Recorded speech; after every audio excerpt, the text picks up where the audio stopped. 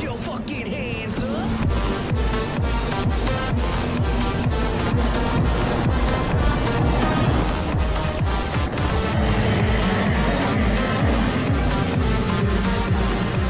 さあ今日も満州チャレンジをやっていこうと思います江戸川5日目1レースとなっております。さあここの満州ポイントね結構たくさんあるんですよね。面白い番組構成です。1つ目のポイント1号艇の村上選手。以前動画でもやったことあるんですけどもまくられて負けやすいというのが特徴の陰線。2つ目のポイント3号艇の和森選手4号艇の金子選手。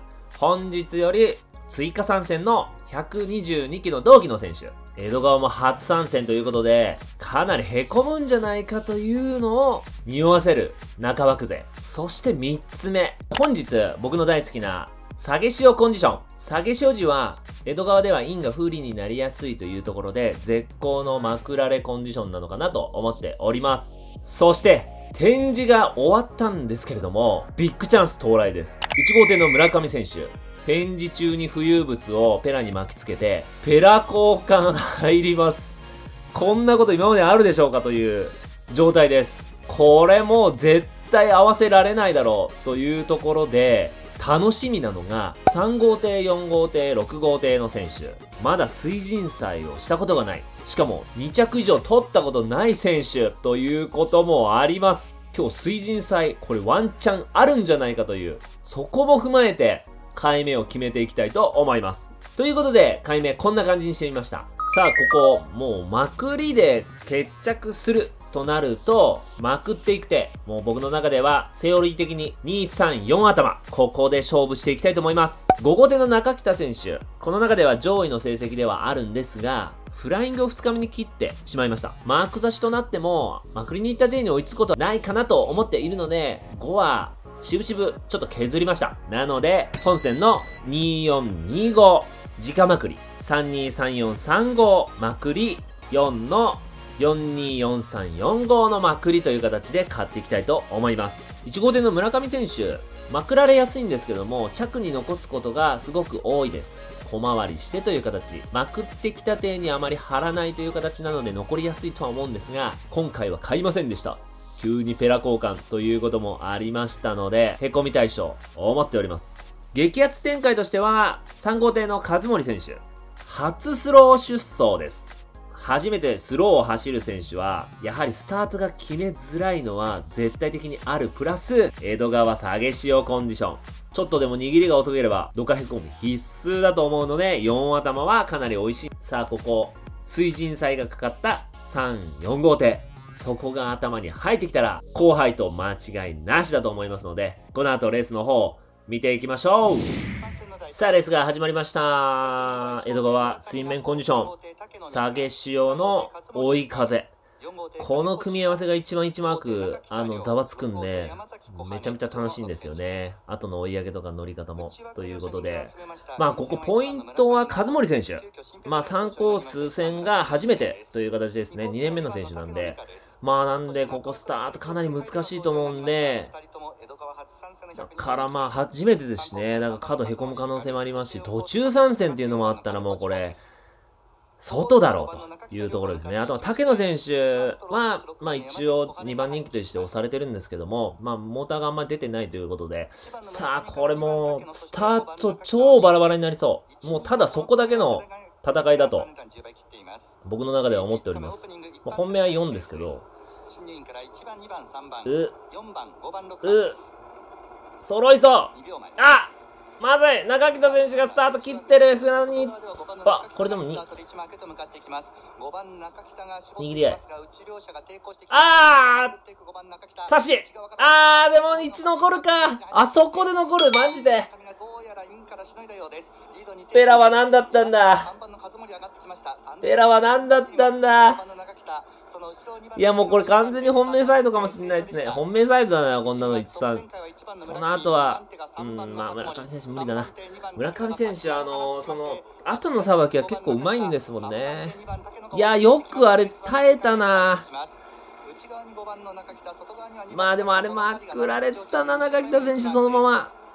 いや、もう技量の差がもう完全に出ましたね。フライング切ってても、スタート思いっきり切りましたね、しかも。はい、もう竹野選手もそれに耐えきれず、実森選手の3差しという形で登ってきました。これ、13のオッズも結構いいんですよね。そうか。まあ、それはしょうがない。まあ、あの、展示終わった後に、もう一回展示しますっていう形で、まあ、ペラが割れた、壊れたという形で、変えるとなったら、もうちょっとざわつきますよね。ただまあ、オッズ自体はもうすごい1から全然売れておりました。1、2、5が一番人気なんで、まあこれだから5が来たらという形です。金森選手も、あ、金森選手も、あ、中北選手が抜かしましたね。これでもうまたオッズ下がりましたね。いやー、女子戦はこの差が激しいですね、やっぱり。1点台の選手っていうのはもうほぼ6着しか取ってないっていう証拠なので、いやー、ワンチャン、ワンチャン、金子選手。残念です。はい、ということで、153、若干本命サイトに偏りました。村上選手の陰線の特徴、まくってきた手にあまり張りに行かない小回りするということが、今回はちょっと功を奏しましたね。ほぼまくられきってたんですけども、思いっきり残しましたからね。いやーもう僕の読み違い、特に金子選手が遅れるということがね、ちょっと残念でした。4000もつきました、これは。悔しいなぁ1からでも全然いいオッズ取れましたね。いやまあでもレースの構成的にすごく面白い番組でもありましたんで、また次回水神祭狙うような選手がたくさんいる場合は狙っていきたいと思いますので、また次回お会いしましょう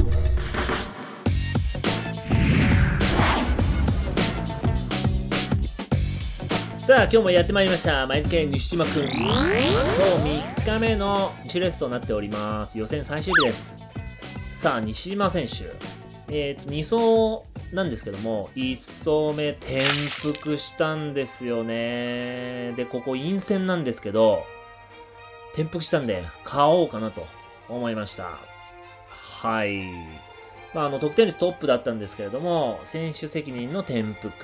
多分、準優には乗れるかもしれないという形なんですけれども、まあ、枠なりという形ですね。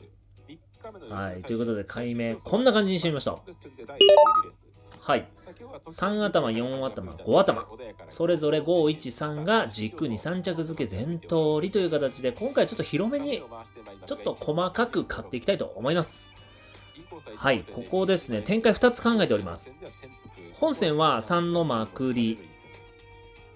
もう一つはですね、2号艇の中村選手。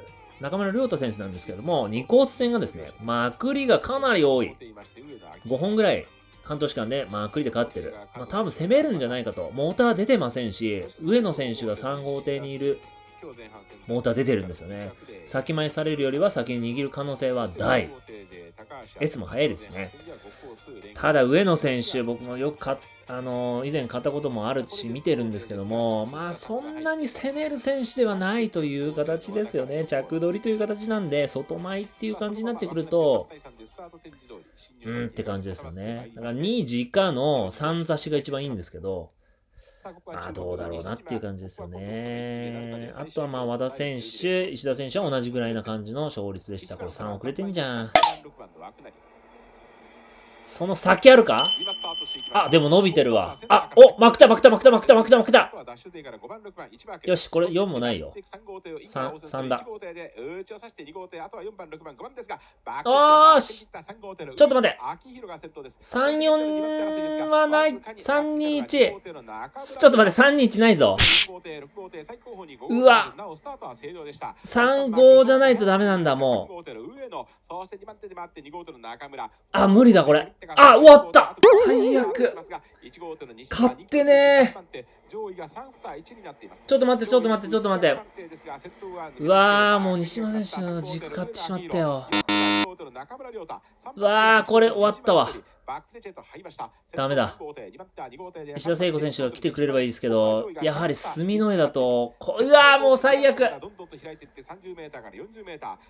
終わってるゴリマンシューだ。なあこんなに圧かけてんのに。他いらなかった。